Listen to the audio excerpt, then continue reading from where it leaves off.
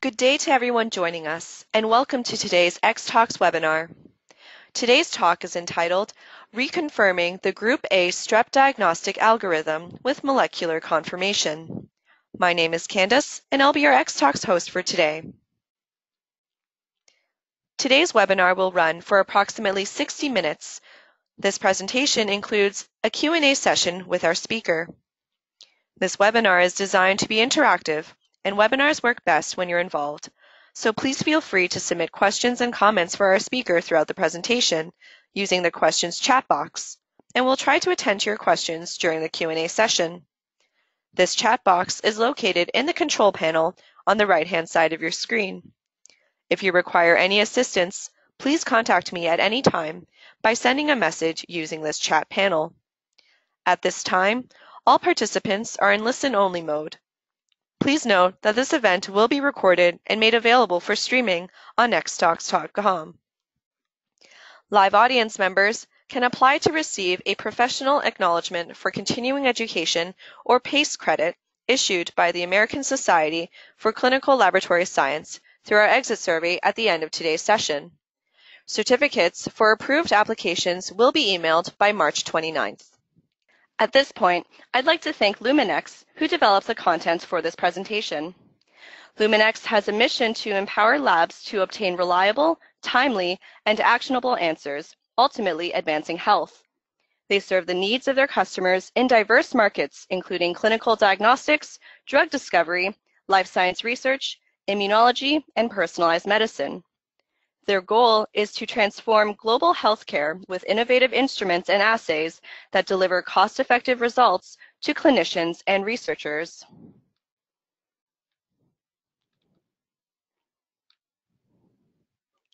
Now I'd like to introduce our speaker for today's event. Dr. Paul Lephart earned his PhD in microbiology, immunology, and molecular pathobiology from the University of Minnesota followed by a fellowship at the Department of Microbiology in the Kumamoto Laboratory at Tufts University, and a second fellowship in clinical microbiology at the University of Rochester Medical Center and School of Medicine. He earned various appointments at the Detroit Medical Center and is currently the Associate Director of Clinical Microbiology Laboratory and Assistant Professor of Pathology at Michigan Medicine at the University of Michigan. He also holds many seats on various committees and editorial review boards and has authored or co-authored more than 60 peer-reviewed articles. Dr. Lephart's clinical interests include bacteriology, virology, antimicrobial stewardship, and infection prevention. He strives to keep the microbiology lab on the cutting edge of diagnostic technology with the goal of helping deliver the best inpatient care. And now without further ado, I'd like to hand over the mic and the presentation over to Dr. Lephart, who may begin when he's ready. Okay, well, good afternoon, everybody. Uh, hopefully you're able to see the presentation here. And thank you, Candace, for that kind introduction. And thank you to Luminex uh, for the opportunity to give this talk today on reconfirming the group A strep, uh, streptococcus pharyngitis diagnostic algorithm uh, with relevant right and rapid molecular confirmation. So we'll start off today with uh, obligatory uh, conflict of interest slide. Uh, I have no conflicts of interest to declare regarding any assay, instrument, or vendor mentioned in this presentation. And then to further start it off, uh, we'd love to put a question to you, the audience, as far as what your role is in healthcare, uh, just to get an idea of who we're speaking with today. Uh, so I think uh, this is at the point where Candace will take this over and uh, the question will be presented to you, the audience. Thank you, Dr. Lephart. Here, as he mentioned, audience members, I will be launching a poll now, and the poll question reads, what is your role in the laboratory? Audience members, you can select from the following options, director, manager, supervisor, medical technologist, or other. Once again, that poll question is, what is your role in the laboratory? And it looks like a majority of our audience members have voted. I'm going to close our poll here and share the results with you. it looks like 24% voted for director, 22% voted for supervisor, 22% voted for other, 20% voted for medical technologist, and 12% voted for manager. Back to you, Dr. Lephart. All right, thank you, Candace. That's a great mix uh, of people here for the talk, and I thank you again for your attendance. Uh, hopefully, uh, we'll all uh, be better off at the end after question and answer and after this presentation.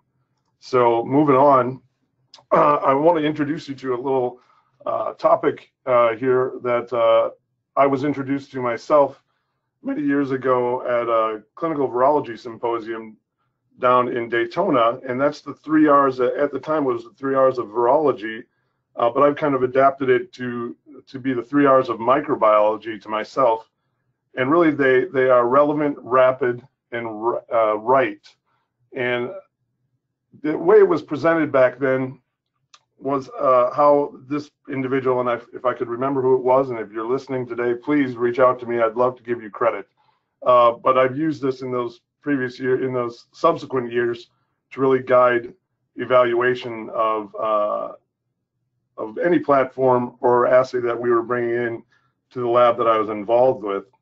And what it, the goal is to try and optimize those three components in any platform or any system. And just to give you some examples here, uh, influenza rapid antigen diagnostic testing, we're all very familiar with that. And it's certainly relevant. It's certainly a rapid test, but the rightness or the accuracy of that assay has been shown to be an issue uh, and it's being dealt with. On the other end of that spectrum is respiratory PCR testing, respiratory panel PCR testing, which has come about uh, and quite uh, widespread now. Uh, it's certainly quite rapid, results within an hour. Uh, it's undoubtedly right. There are very high reported sensitivity and specificity performance data, but its relevance in the outpatient and ED settings is questionable.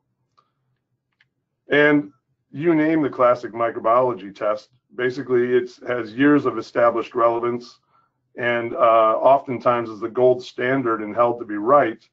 Uh, but that time to result, that long time to result that sometimes can be days or back in the virology, uh, classic virology uh, years, uh, can take weeks sometimes to result, really hampering utility and efficient patient care. So I've always taken these three R's in context to try and uh, achieve the ideal test, being that best blend of relevance, right, and rapid that one can achieve in any system. So I'm going to start off today talking to you about the relevance of group A strep pharyngitis diagnostics. And first off, speaking to strep pyogenes superficial disease, uh, the clinical symptoms and epidemiology of major group A strep infections generally can be described as pharyngitis, uh, which has a huge global incidence, impetigo, which is still quite prevalent worldwide, uh, and scarlet fever, which many may consider a disease of the past. We certainly don't see a lot of it in the United States, uh, but uh, it's not limited to the developing countries. Uh, there, many of you may be aware of a recent uh, outbreak in the United Kingdom of scarlet fever, so it's still out there. Um, and in fact, superficial group A strep infections occur each year. Uh, several million of them occur each year in the United States according to the CDC. Of course, these aren't tracked, so this is just estimates by the CDC. Um, and if we narrow that down to uh, group A strep pharyngitis in particular, uh, it is the most common bacterial cause of pharyngitis in children, uh, accounting for 15 to 30 percent.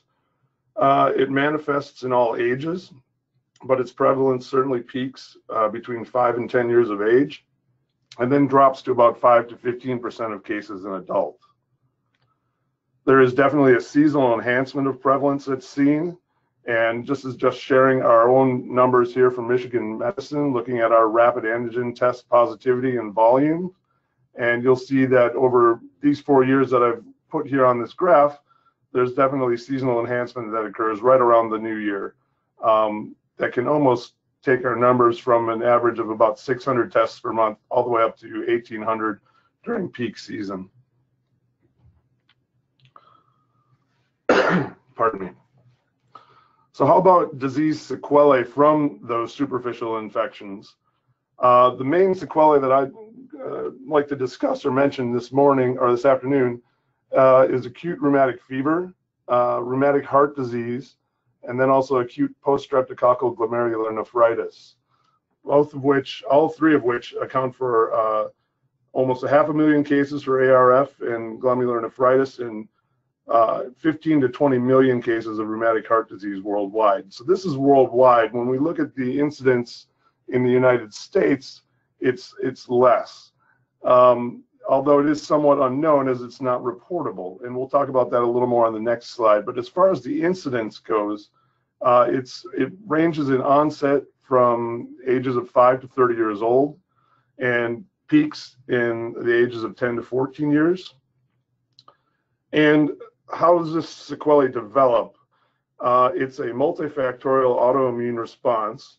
And this is a great diagram that I found in an article from Lancet in 2005 that really does a good job of describing this multifactorial response and the components of it, or at least how it's believed to develop. First off, you need a susceptible host, a genetically susceptible host, uh, and there's a certain predisposition to that. You need repeated group A strep exposure uh, that primes the immune response. And the number of those infections and exposures is definitely influenced by environmental factors, overcrowding uh, being one of the primary environmental factors. And you also then need infection with sequelae specific associated serotypes.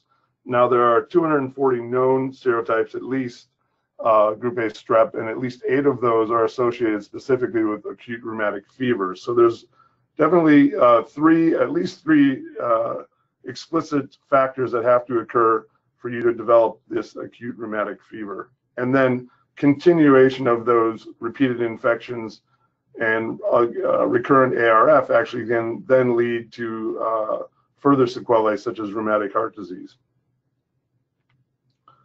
And how about the epidemiology of uh, strep pyogenes ARF worldwide?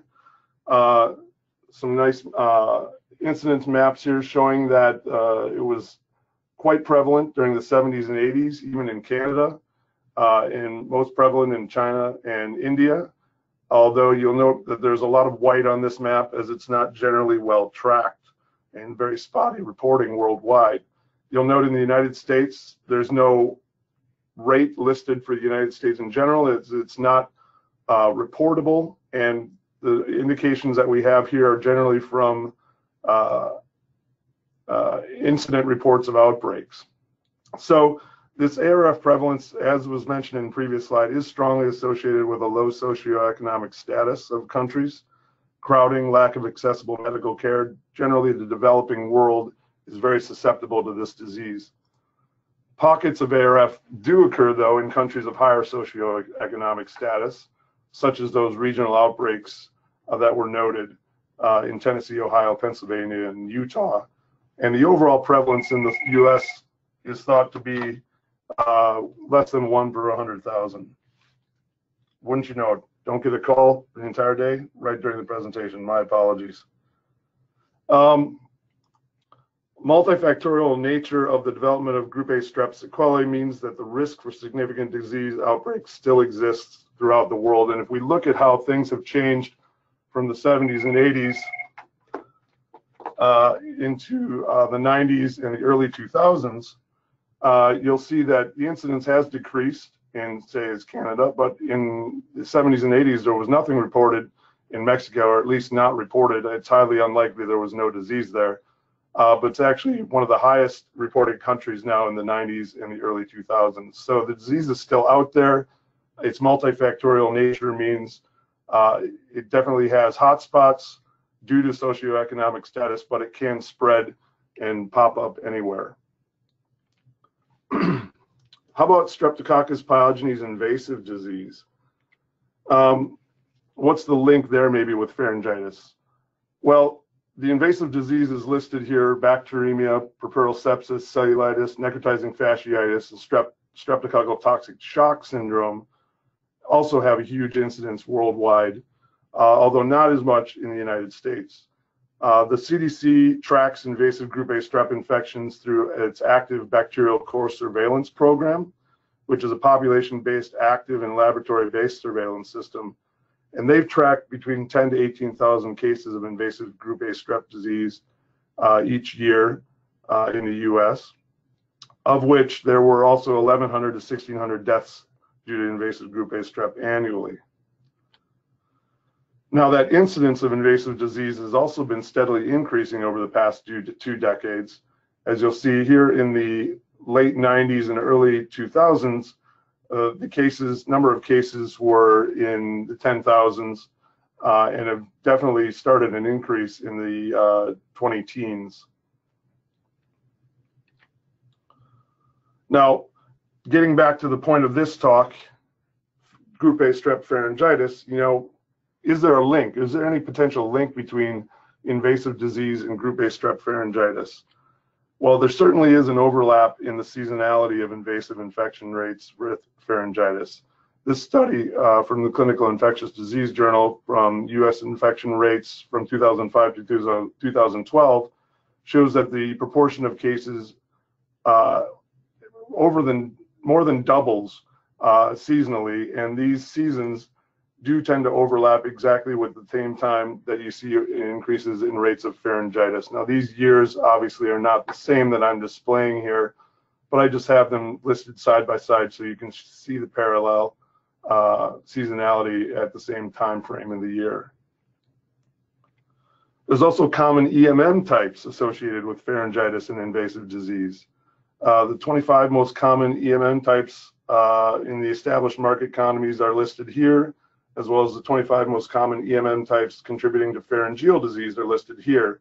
And interestingly enough, three of the four top uh, types involved with invasive disease uh, match up very nicely with three of the four top uh, EMM types associated with pharyngeal disease. EMM1 is number one and number two in pharyngeal. EMM28 is number two in invasive, comes in at number four pharyngeal. So there's an interesting link there as well, I believe. So hopefully uh, I've spoken a little bit there to the relevance of the disease and in keeping tabs on it and really doing our best to diagnose it even in uh, part of the world where uh, group A strep disease is not as uh, prevalent as it is uh, in the developing countries, but there still is a risk to be had. Uh, so let's to, let's look into the rightness then of the group A strep algorithm as it, as it exists. Um, there are diagnostic guidelines for the clinician that exist out there, and there was a nice comparison published in American Family Physician in 2016 that looked at those uh, pharyngitis guidelines for group A beta hemolytic strep. Both in, are in the American College of Physicians, the American Academy of Pediatrics, and the Infectious Disease Society of America. And what you'll see is initially they all uh, recommend use of some sort of criteria or clinical criteria to assess a patient's risk for infection uh, and determine the next the best path of testing or treatment. I will emphasize uh, the Centor criteria here, as I'll be referring to it uh, later on in the talk as well, and how it is assigns points according to the absence of cough, swollen cervical nodes, high temperature, tonsillar exudate swelling or swelling, and then the patient age as well, which correlates with the peak rates of group A strep pharyngitis. And according to that score that they get, they then direct the clinician whether to go ahead with empiric therapy of antibiotics with no testing, testing with those in the middling scores, and then scores of zero or one, they would recommend no further testing or an option for testing with a score of one. Um, so that's what's recommended from the American College of Physicians. What's more interesting is that all three organizations also recommend that for children, you need a backup culture needed if that rapid antigen test result is negative. So why is that? Uh, well, we'll get to that in the next slide. But first off, I also want to point out that the testing guidance for the lab, there's similar uh, guidance that exists from the College of American Pathologists who state explicitly in one of their standards in their checklist, their latest checklist, that group A streptococcus direct antigen testing is, if it's performed on pediatric patients, confirmatory testing is performed on negative samples. And they also state further that policy should be established for the use of cultures or other confirmatory tests on these pediatric specimens that test negative. And that the policies that are established should take into account the sensitivity of that assay and use for the, confirmatory, for the confirmatory test. So that leads us to the next poll question uh, for the audience. And we'd just like to know uh, where does the initial group A strep take place in your facility? Is it being done in a core lab, uh, centralized testing uh, along uh, right away from the from the physician? Is it done in a near patient testing location, uh, point of care? Is it a send out test? Or is your confirmatory test to send out uh, only and that you're uh, doing this initial test in-house? So I'll give it up to Candace again. Thank you, Dr. Lephart. As he mentioned, we do have a polling question launching now. Again, that question is, where does the initial Group A strep test take place in your facility? Audience members, you can select from core lab or centralized testing, near patient testing or point of care, send out only, or send out confirmation. Once more, that poll question reads, where does the initial Group A strep test take place in your facility? And I'll leave a couple more moments for our audience members to vote. You can vote by selecting any one of those four options displayed on your screen. And it looks like a majority of our audience members here have voted. I'm going to close the poll now and share the results with all of you it looks like 72% voted for core lab or centralized testing, and 28% voted for near patient testing or point of care. Back to you, Dr. Lephart. Thank you, Candace. So why is that uh, recommendation so strong that these rapid antigen tests be confirmed by culture? Uh, well, that's answered really nicely in a recent Cochrane analysis of rapid antigen diagnostic tests for group A strep testing in children that compiled data from more than 100 rapid antigen test performance studies. And they came up with a summary sensitivity from all of those uh, studies of 85.6% sensitivity and specificity of 95.4% when that rapid antigen test is compared to culture. Uh, so basically that means that in a population of 1,000 children with a group A strep prevalence of 30%, which is not too far off of what we see uh, during peak prevalence season, you'd be missing 43 of those 300 positive patients. Uh, so not an insignificant number of false negatives. Uh, the American Academy of Pediatric also states that the accuracy of these tests is most dependent on the quality of the throat swab specimen which must contain pharyngeal and tonsillar secretions and is therefore dependent on the experience of the person performing the test in, in collecting a proper specimen.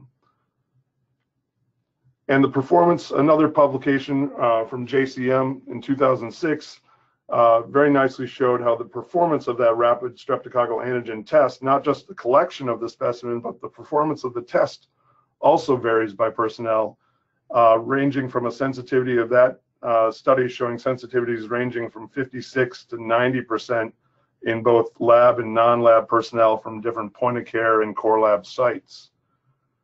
And this sensitivity drop off and concern is really uh, pointed out in the package inserts of many of these uh, rapid antigen tests. And I don't mean to pick on Sure-Vue here at all. That's what we use in our system.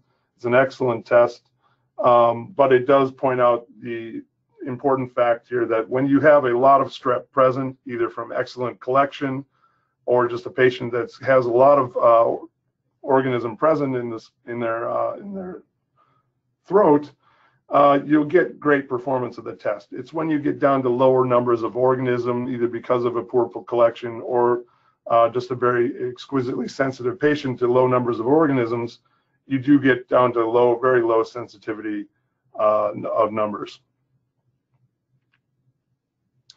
So the question that uh, we next came to in our quest to reconfirm this algorithm is whether or not group A strep culture is still to be considered the gold standard as the confirmatory test for those rapid antigen tests. Um, there's not much fancy to a confirmatory group A strep culture. Uh, generally done on 5% sheep blood agar with trypticase soy base. It's been considered the gold standard and generally held to be between 90 and 95% sensitive. Now there's uh, there have definitely been published uh, other culture methods that may enhance upon that rate a little bit, uh, but that's generally the gold standard method as listed. Growth is typically observed within uh, 24 hours of incubation, although what we have found, and I think many of you have also experienced, is that when you get mixed cultures with very few numbers of group A strep, it can be difficult to definitively identify without a further subculture potentially adding another overnight cycle or another 24 hours to the identification process. Uh, the other question that we asked was, you know, how, re how reliable are our traditional group A strep identification tools compared to PCR? There was an interesting little study that looked exactly at this in 2016 uh, that looked at 206 uh, beta hemolytic strep isolates that were tested for bacitracin sensitivity, PYR test, and Lancefield grouping, and of those 206 beta hemolytic strep, they found 175 that were PCR positive for strep pyogenes, but only 160 of those exhibited all three of the traditionally expected test results for strep pyogenes. And that leads to this number here for all three of about 95% sensitivity for those particular assays in identifying the strep pyogenes. And what's also further interesting is 14 of those PCR negative beta hemolytic strep isolates demonstrated a positive result for one of those traditional test reactions traditionally attributed to strep pyogenes, and three of those demonstrated all three test reactions. Now, it's reasonable to argue that those three may be uh, actually negative, falsely negative PCRs, and that's certainly arguable. Uh, but I think the point being from this study and what we've seen in our in our laboratory as well is that these benchside tests uh, are not perfect uh, and they they leave a little bit to be desired in terms of uh, accuracy sometimes. So let's look a little more closely at nucleic acid amplification for group A strep. Now there are literally dozens of studies out there on group A strep pharyngitis uh, or group A strep PCR or nucleic acid amplification techniques. It's nothing new. Uh, it's been around for quite some time. Uh, but this is a particular study I wanted to focus on today because I think they did a really good job of addressing the main concern that a lot of people have with molecular testing with group A strep is that in that are we being too sensitive and potentially detecting carriage? Uh, so getting at their data, they found 71 uh, group A strep positive samples. 70 of the 71 were detected alone by the molecular assay. Uh, 35 of the 71 were detected alone by rapid testing and 55 detected by culture. So you're seeing a definite uh, improvement in the detection and sensitivity by the molecular assay. Uh, if you use the rapid antigen test with culture confirmation following, you do improve that sensitivity a little bit to 58 out of the 71. So getting at that point then, whether molecular testing and that distinction between carrier and true infection, well, I'll go back to what we were talking about in terms of the Centor score and the uh, phenotypic uh, uh, relationship of the patient with the organism and the positivity we see with group A strep. And looking at their data here, you see that molecular testing identified 15 additional positives in this group with significant Centor scores of greater than or equal to two compared to culture and rapid positive. So we're definitely identifying positives in a group that has a very high suspicion of disease uh, symptomatically. But it also did identify seven additional positives with very low Centor scores of less than two. Uh, which could be construed as being part of that carriage group. So as with most things, uh, it's a little bit of good and a little bit of bad potentially. So we've also looked at uh, molecular test testing of group A strep here at Michigan Medicine. We did so prior to my arrival here a few years back in 2015. We looked at the Quidel AmpliVue group A strep test and we looked at 100 uh, consecutive isolates that were submitted to the lab for uh, culture confirmation of negative rapid tests. And what we found were that 72 of those were indeed negative by both molecular assay and by culture. We found that there were seven that were outright positive by culture that also confirmed as molecular positive. There were six that, interestingly enough, were initially culture negative, were AmpliVue positive, and then when they went back and recultured those with the Monday morning quarterback eye, were able to find indeed group A streps in those cultures. Um, there were additionally then 15 uh, cultures that were negative and reproducibly negative, but still positive uh, by AmpliVue as well. Now, with that study, uh, they did not look at any uh, the patient data, but then uh, just recently in 2018 and the beginning of this year, uh, we brought in two additional assays and looked at again another group of negative confirmations that came into our lab and we tested them by the molecular assays as you see. So starting off on the right here, we looked at 68, uh, 68 of these uh, were of these culture or rapid antigen, sorry, rapid antigen negatives uh, were culture were NAT negative as well. Uh, 66 of those were NAT negative as well, two of which uh, were rapid antigen positive, uh, but NAT negative. Now, those same two were NAT negative by the Simplexa assay. Uh, and what's interesting about those two specimens in particular is one of which was retest negative by the rapid antigen test, was culture negative, and was uh, NAT negative. So we can only assume that that may be an example of a misread rapid test at the point of care location. The second one was reported in the clinical literature or the clinical notes as uh, rapid positive. However, it came through our system as a rapid negative, was culture negative and PCR negative. So again, that may be another incident of a falsely positive rapid antigen test, not but not because of the test itself, but because of the uh, misread perhaps. If we look at those that were NAT positive, uh, there are a group of those uh, that were culture positive and NAT positive, uh, which we would expect, and zero of those culture positives were NAT negative. But there was also a significant number that were culture negative that were also NAT positive, and those are those additional positives that we're concerned with. Are those indicating carriage or are those indicating true uh, clinically relevant positive cases?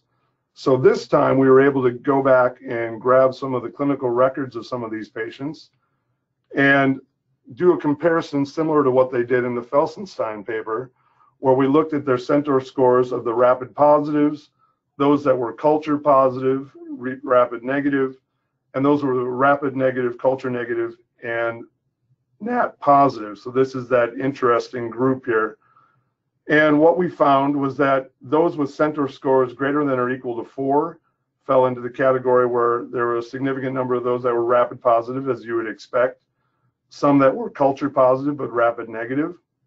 And we also had a good number, three of our uh, seven that we looked at that had clinical records were also in this category of significant uh, symptomatic disease.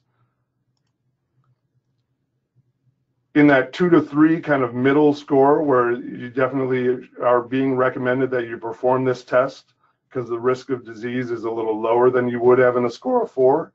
That's where the majority of our rapid positives fell that we looked at. Our culture positives were also in that category, and we caught a few more uh, NAT positive tests as well that were in that category.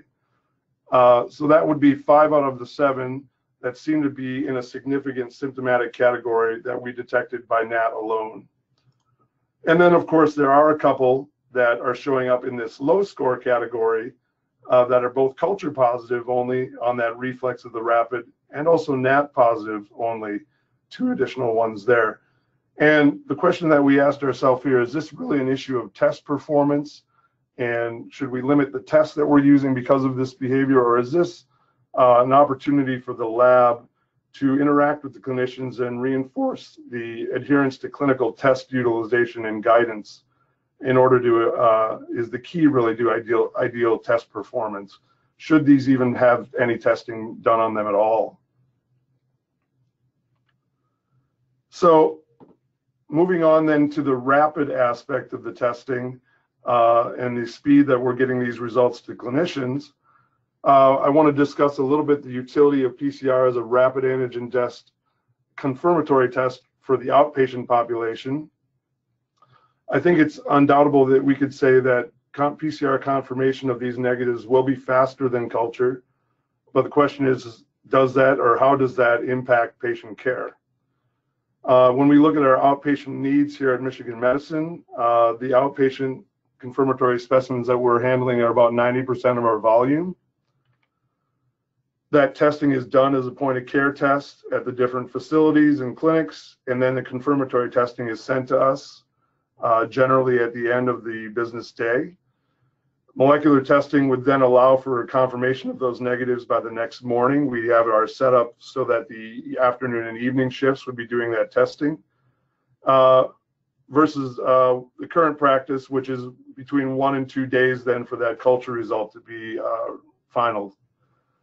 The impacts that we would expect to see is an improved clinician and patient satisfaction in getting that result that next day uh, the clinician being able to reach out to those patients that have that confirmed, uh, confirmatory test positive and get that uh, script filled immediately the day after they saw the physician.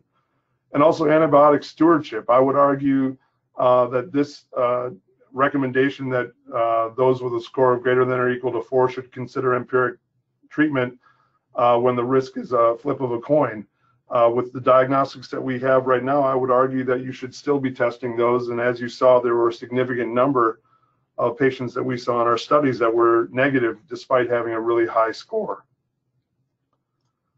Uh, some emerging options I just wanted to briefly mention uh, in terms of outpatient care.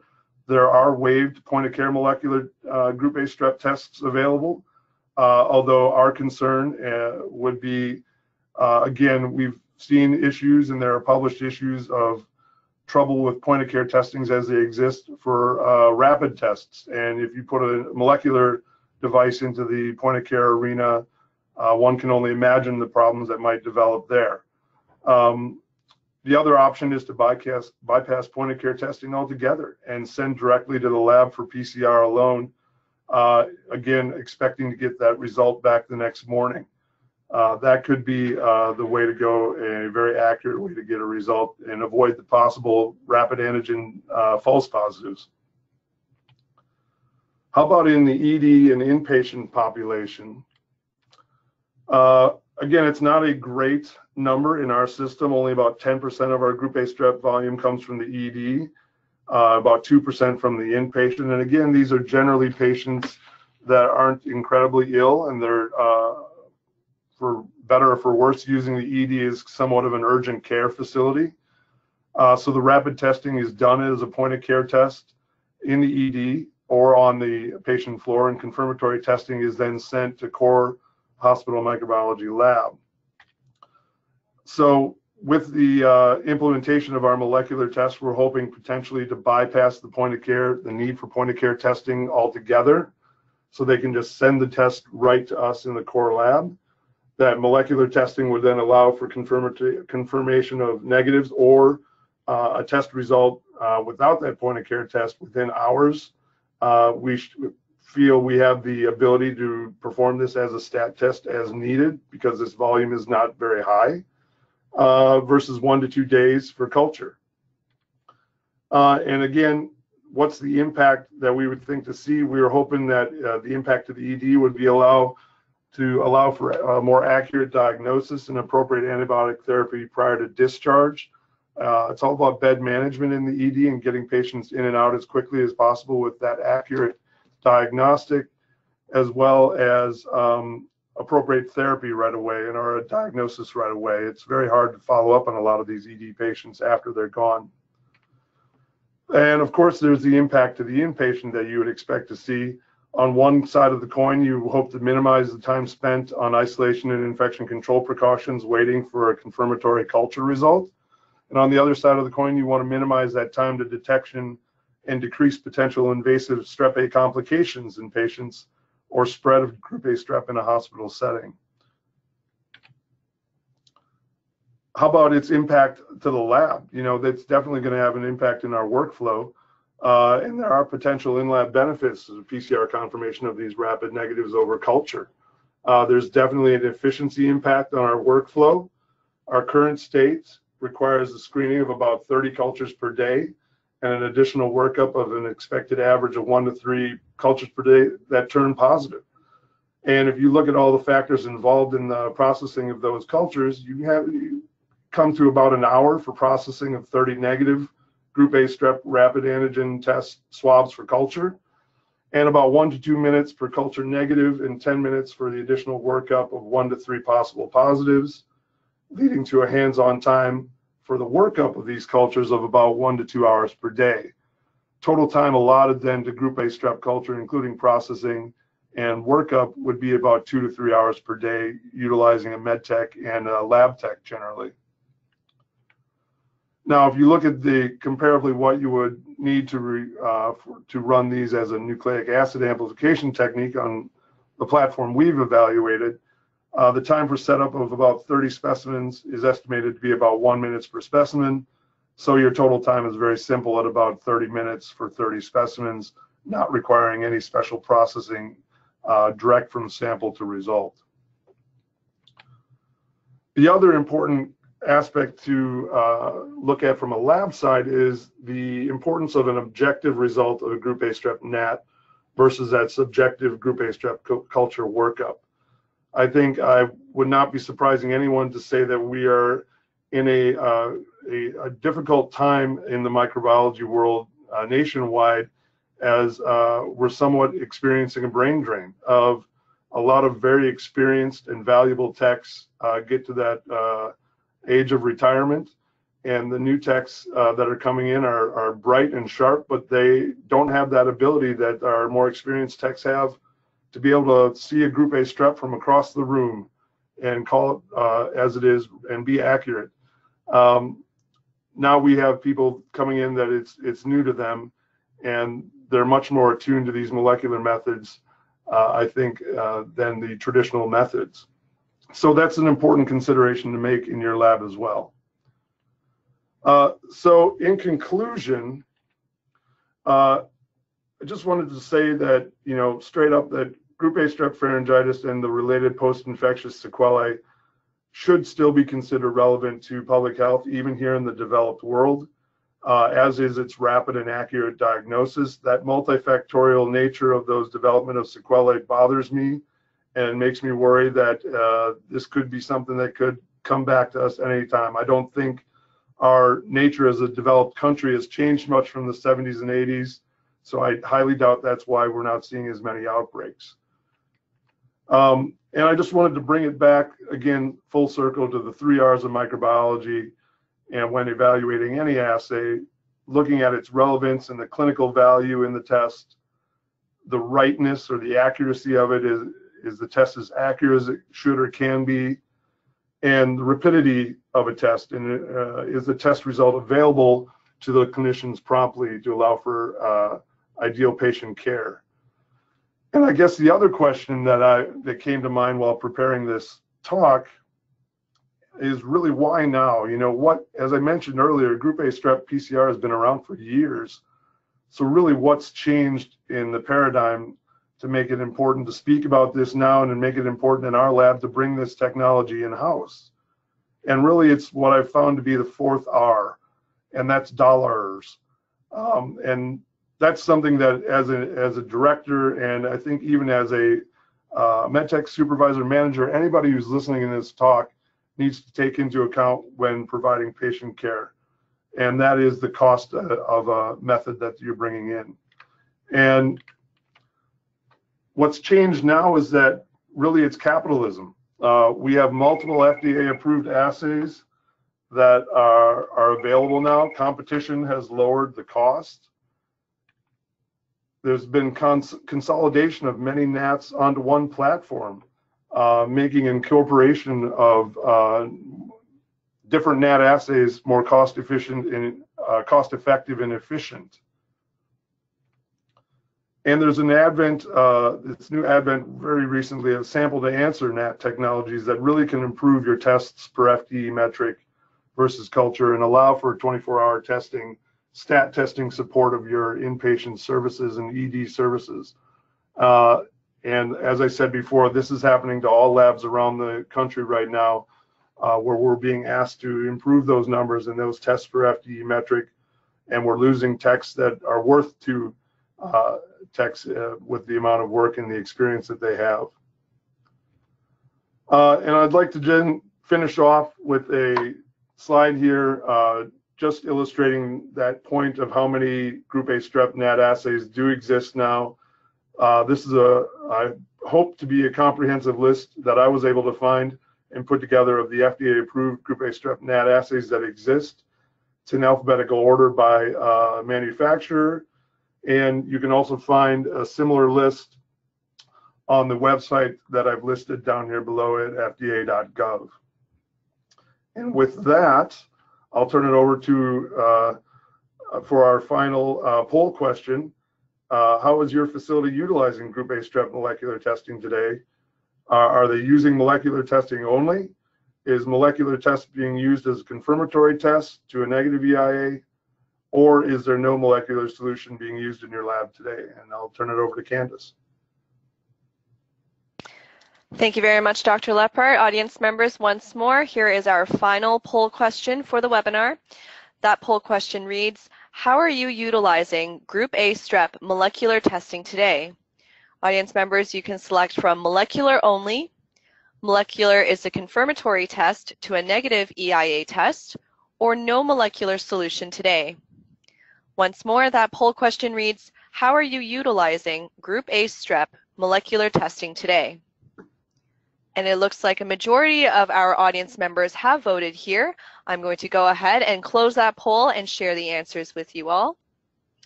It looks like 70% voted for no molecular solution today, 17% voted for molecular only, and 13% voted for molecular is the confirmatory test to a negative EIA test. Back to you, Dr. Lephart. Thank you, Candace. And may I say uh, a big thank you to the audience today. Uh, talk about your rapid response to the poll questions, by the way. That was fantastic. I was uh, shocked at how quickly we got response to those. I was expecting to sit around for a minute, and most of the talks I've been to where polls have been included, uh, it takes quite a while to get a participation. So thank you, everybody out there, for your participation. And I'll just finish off my talk today with a listing of a lot of the references that I included in this or used in the preparation of this talk, uh, most of which were included next to the uh, references as I talked about them. Uh, so thank you, uh, thank you again, and I'd be happy to take any questions. Thank you very much, Dr. Lephart. That concludes our uh, presentation portion of our webinar here. Audience members, we now welcome you to continue sending your questions and comments right now using the questions window for the question and answer portion of this webinar. I've already received some questions, so I'll start with those. First question here is, what about strep group C and group G? Do you think it is important to detect those types of strep? Great question. Um, and I somewhat, I, I, have to admit, I purposely kind of let that out because I knew that question was coming. Um, and in our, in my opinion, uh, they're definitely important. They're definitely been shown to play a role in bacterial pharyngitis. Um, I think the real reason that we would not include those in our paradigm uh, of testing here is that I don't think they've been shown to play a significant role in that development of sequelae, which is really the important uh, driver to really have a very highly accurate diagnostic for group A strep. That being said, uh, I know there are uh, molecular platforms out there now that offer testing of both group A, C, and G, and that might be the perfect option uh, for your lab if uh, you have a high prevalence of those pathogens in your uh, population. And I would think that that might be something we would look into in the next couple years and actually doing a more comprehensive study of our uh, uh patients uh, our negative rapid tests, even including positives sometimes, to see if uh, there's any po uh, significant population of group C or G in our patients. Thank you very much, Dr. Lephart. Our next question here is, if you are performing rapid diagnostic test first, are you collecting two swabs?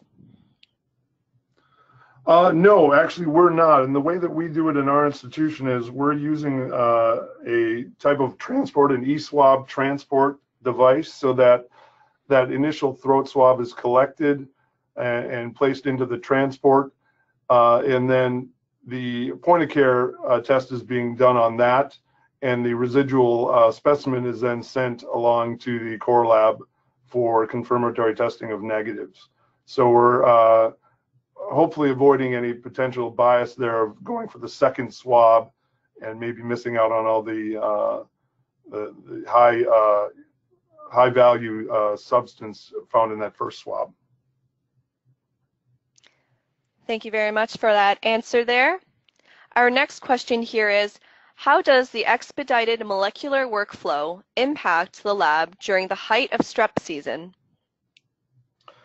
Yeah, so this is all hypothetical, obviously, as we haven't uh, implemented it fully here yet, uh, and haven't haven't had it implemented during a peak strep season. But as you saw from those seasonal data that I presented, our volumes uh, were more than twofold higher, uh, two to threefold higher when we get to that peak season, and that's a stressor on our staff in both uh, reading and processing all of those uh, negative strep uh, specimens that are coming in for culture confirmation.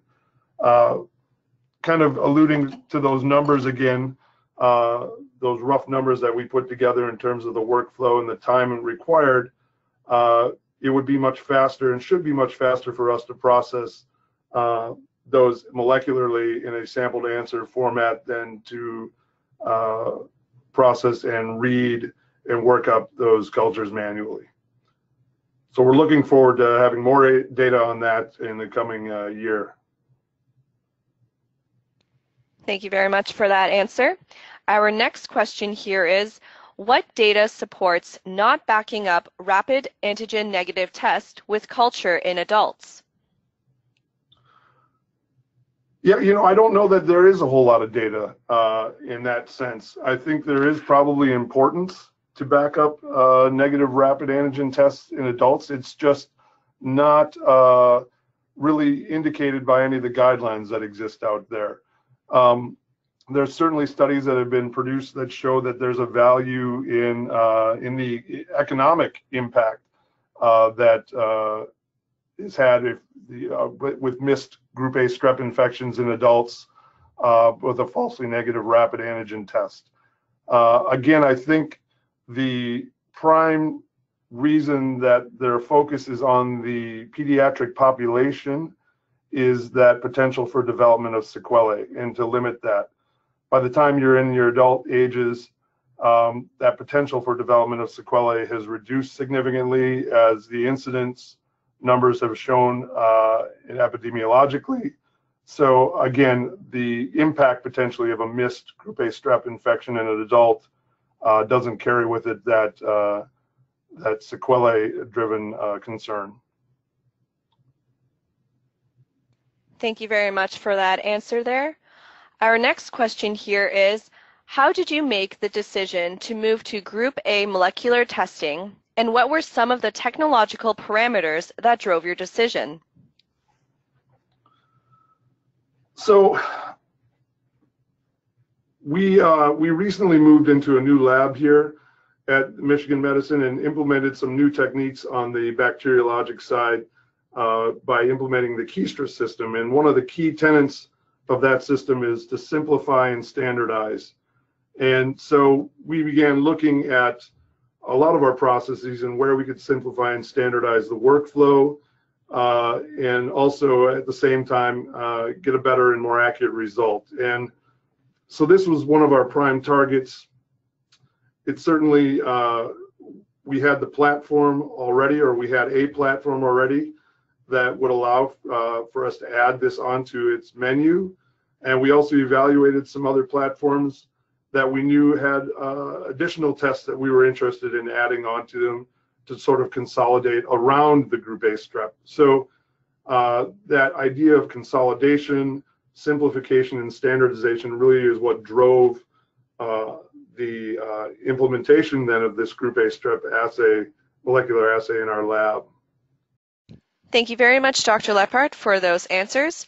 We've reached the end of the question and answer portion of this webinar. If you have any further questions, please direct them to the contact information showing on your screen. Thank you everyone for participating in today's conference. You'll be receiving a follow-up email from XTalks with access to the recorded archive for this event. A survey window will be popping up on your screen. Your participation is appreciated as it will help us to improve our webinars. Now please join us in thanking our speaker, Dr. Paul Lephart, and feel free to share this webinar with your colleagues by clicking the link in the chat box. We hope you found this conference informative.